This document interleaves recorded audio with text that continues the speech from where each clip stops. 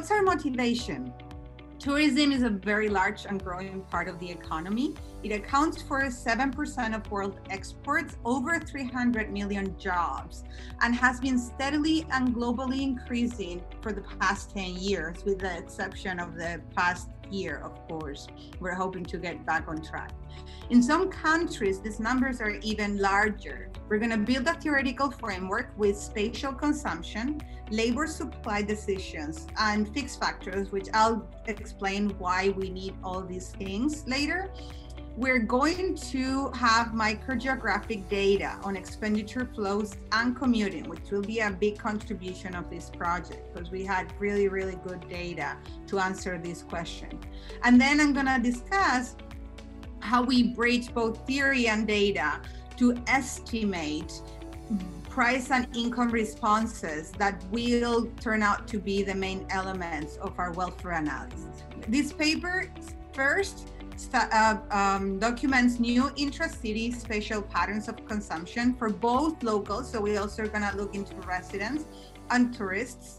We're going to do that with big data on spatial expenditure flows and also commuting, how our model delivers a very intuitive analytical expression that summarizes intra-city welfare analysis with a part for income. Think of it as tourism's come, they bring jobs, well, wages go up, and price effects. Tourism's come, they come to Airbnb or they buy at your favorite restaurant, prices go up. So it's going to be a race between these income effects and these price effects we have three groups. We're gonna talk, even though eventually we're gonna pull tourists, we're gonna be able to differentiate foreign and domestic tourists. Uh, and at some point, I'm not gonna talk about that today because it's work in progress, but we we are able to separate these foreign tourists in by country of origin. Um, then Barcelona residents. And so just to summarize, think of it as a matrix for locals, where you live, where you buy, in which in all 20 sectors for 36 months. And for tourists, is just where you buy, your country of origin, 20 sectors and 30, uh, 36 months. I'm gonna show you three maps. Well, I guess four maps, but three points. The first one's gonna show you how how tourism expenditure is distributed within the city compared to locals. The second one, oh, this is a typo. I apologize. This is a uh, uh, apostrophe S.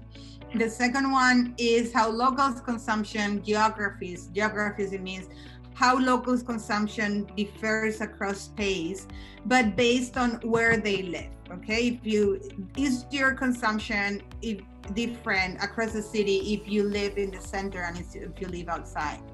And finally, I'm going to show you a relation between tourist and locals consumption. The takeaways are that tourist shock, we're going to think of tourism as a tourist shock in a census block. Uh, tourist shock size varies across the city landscape.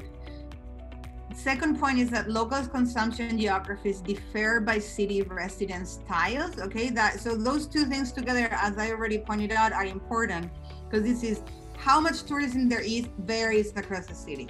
Now, if you're nearby one of these, you're very much affected because local consumption differ by city residence style.